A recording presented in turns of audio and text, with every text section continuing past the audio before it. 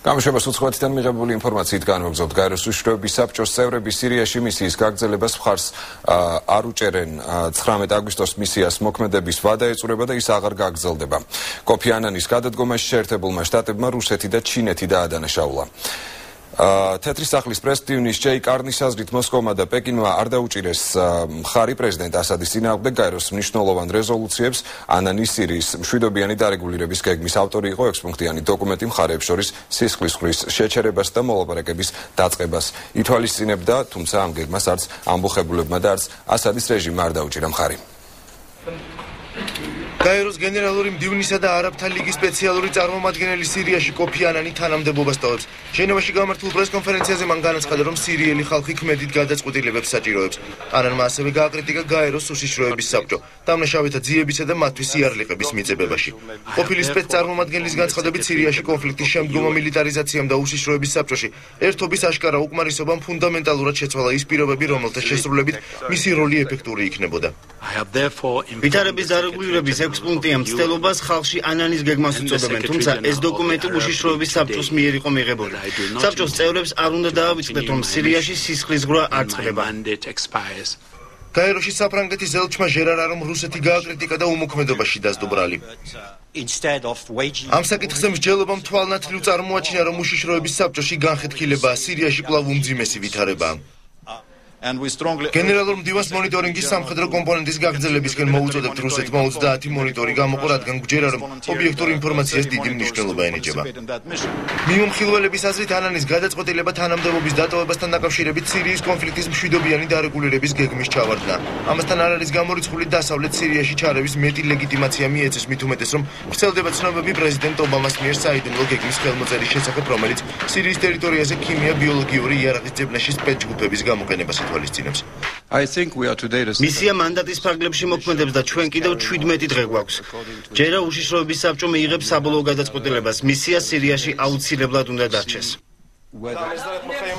პარალელურად სისხლიანი შეტაკებები არ წყდება წუხელ ასადის ჯარების მიერ ნაღმტკვრცნებიდან დაბომბობის შედეგად დამასკოს პალესტინურ ბანაკში 20 მშვიდობიანი დაიღუპა და 65 დაიჭრა. დაბომბვა მაშინ მოხდა, როდესაც მეზობელ რაიონებში ამბოხებულებსა და სამთავრობო ჯარებს შორის შეტაკება მიმდინარეობდა. თურქები სირიის მშვიდობიან მოქალაქეებს სოლიდარობას უცხადებენ გასულ ღამით სტამბულში სირიელი ხალხისა და რევოლუციის მხარდამჭერი აქცია გამართა. დემონსტრანტები ბაშარ ასადის რეჟიმის ქმედებებს აპროტესტებდნენ და სირიაში სისხლის ხვის შეჩერების მოწოდებით გამოდიოდნენ. ამჟამად თურქეთს ათეულობით ათასი სირიელი დევნილი აფარებს თავს. 17-იან სამოქალაქო დაპირისპირებას სირიაში ოფიციალური მონაცემებით 19000-ზე მეტი ადამიანი შეეწირა. ვლადიმერ პუტინი ფუსრაიოტის წევრების ქმედებას არ ამართლებს, თუმცა გოგონების მკაცრად გასამართლების წინააღმდეგია. ამის შესახებ რუსეთის პრეზიდენტმა ლონდონში ვიზიტის დასასრულს განაცხადა. ხანგრძლივი დუმილი ამ საკითხზე პუტინმა ჟურნალისტებთან საუბრისას დაარღვია. ფუსრაიოტის სასამართლო პროცესი მოსკოვში უკვე მეხუთე დღეა იმართება პუტინის მოწინააღმდეგე გოგონები თებერვალში საკათედრო ტაძარში. ვლადიმერ პუტინის საწინააღმდეგო აქცია კონცერტის ორგანიზებისთვის დააკავეს. ფუსრაიოტის სამწევს რელიგიური ზიზღის მოტივით ხულიგნობის ბრალდება აქვს აღენებული, რაც 7 წლამდე პატიმრობას ითვალისწინებს. ევროკავშირის ეგრეთ წოდებულმა ტროიკამ საბერძნეთის საბიუჯეტო რეფორმები მოიწონა ეს ათენს სექტემბერში მორიგი 31 მილიარდიანი ტრანშის მიღების შესაძლებლობას აძლევს. სამეულმა რომლის შემადგენლობაშიც ევროკავშირის საერთაშორისო სავალუტო ფონდისა და ევროპის ცენტრალური ბანკის წარმომადგენლები შედიან, ქვეყნის ფინანსთა მინისტრთან შეხვედრის შემდგომ განაცხადეს, რომ მოლაპარაკებამ კარგად ჩაიარა. საბერძნეთმა, რომელიც უკვე მეხუთე წელია ფინანსურ კოლაფსია, შეიმუშავა პროგრამა, რაც საბიუჯეტო მომჭირნეობის ხარჯზე ორ წელიწადში 11 მილიარდი ევროს დაზოგვას ითვალისწინებს. პროტერიოტიტა მას ინე να μείνει ჩვენი პრიორიტეტი საბერძნეთის ევროკავშირში დარჩენა რეფორმებს კვლავ გავაგრძელებთ დარწმუნებული ვარ რომ ჩვენი მცდელობა წარმატებული იქნება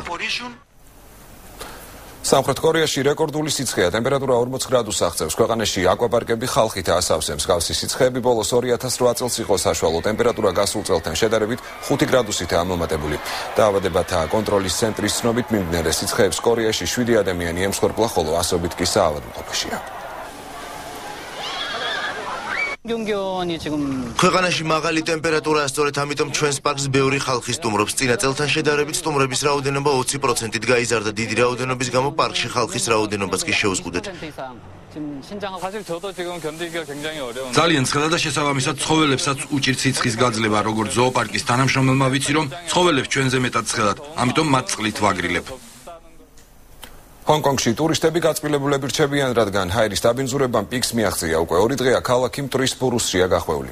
ტაიფუნის გამო დაბინძურების კოეფიციენტი არნახულ ნიშნულთანაა. ჯანდაცვის სამინისტრო გულით დაავადებულებს აფრთხილებს მოერიდონ თავშეღრის ადგილებს, საავტომობილო ტრაფიკს, სავაჭრო და ბიზნეს ცენტრებს.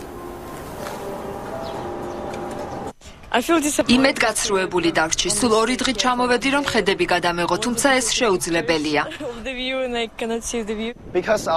ტაიფუნმა ქარს მიმართულება შეუცვალა და ამიტომაც აღმოჩნდით ასეთ მდგომარეობაში ახლა ზაფხულია. საგამჭირვალი და ლურჯი უნდა იყოს, თუმცა ასეთ მძიმე გარემოში გვიწევს ყოფნა. ბაიკალის ტბაზე ამოუცნობ ფრინავ ობიექტს ეძებენ ექსპედიციაში 50-მდე ადამიანი მონაწილეობს 1958 წელს ბაიკალის ტბასთან Tu-154-ის ჩამოვარ ჩამოვარდა მაშინ ავიაკატასტროფის მიზეზად ამოუცნობ ფრინავ ობიექტს ასახელებდნენ ადგილობრივების თქმით ამ ადგილებში ხშირად ხედავენ ამოუცნობ ფრინავ ობიექტებს Объект сначала был на месте, თავდაპირველად ობიექტი ერთ ადგილზე იდგა. თავისებურად კაშკაშებდა და სხვადასხვა ფრად ასხივებდა. შემდეგ კი ქაუტურად ამოძრავდა.